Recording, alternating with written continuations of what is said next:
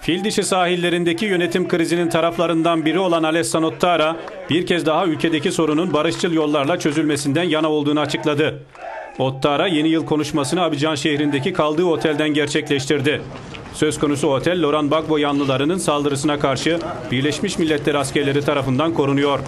Ottara akşamüstü yaptığı konuşmasında ülkenin yeni yıla barış içerisinde girmesini diledi fakat Gbagbo'ya yüklenmeyi ihmal etmedi. Eski devlet başkanı Laurent Gbagbo hiç kimsenin kabul etmediği çeşitli kurnazlıklara başvuruyor. Kendisine karşı çıkanları aldatmaya çalışıyor. Yönetimi kazanmış en büyük parti olarak bizler demokratik seçimleri kazandık ve barışı da bizler sağlayacağız. Yemin ettiğim şeyler konusunda gerekeni yerine getireceğim. Bütün gayretim daha fazla insanın yaşamını kurtarmaktır. Bu yüzden sabırla bekliyorum.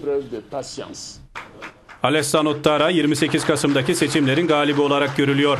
Ancak Laurent Gbagbo bunu tanımıyor. Uluslararası toplumsa Gbagbo'ya görevini bırakması için baskı yapıyor.